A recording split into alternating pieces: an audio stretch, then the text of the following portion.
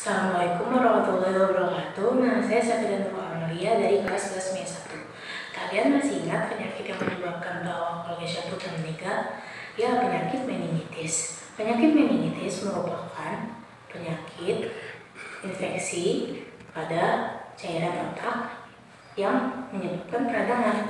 Nah, meningitis ini dapat terjadi karena efek samping dari penyakit sumsum tulang belakang atau efek samping dari pengobatan medis yang dilakukan seperti penyakit lupus. Namun, penyakit meningitis ini dapat terjadi juga karena virus, bakteri, jamur, dan parasit. Nah, di sini aku akan menjelaskan sedikit tentang penyakit meningitis yang disebabkan oleh bakteri, yaitu penyakit meningitis bakterial. Meningitis bakterial dapat terjadi karena bakteri Listeria monocytogen.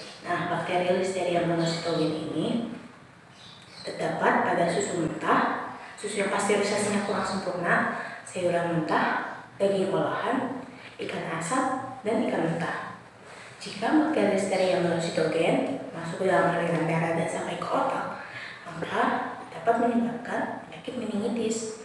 Maka dari itu, marilah kita kurangi santapan makanan yang dan mengandung bakteria Listeria monocytogen jagalah kesehatanmu karena kesehatan itu harganya mahal.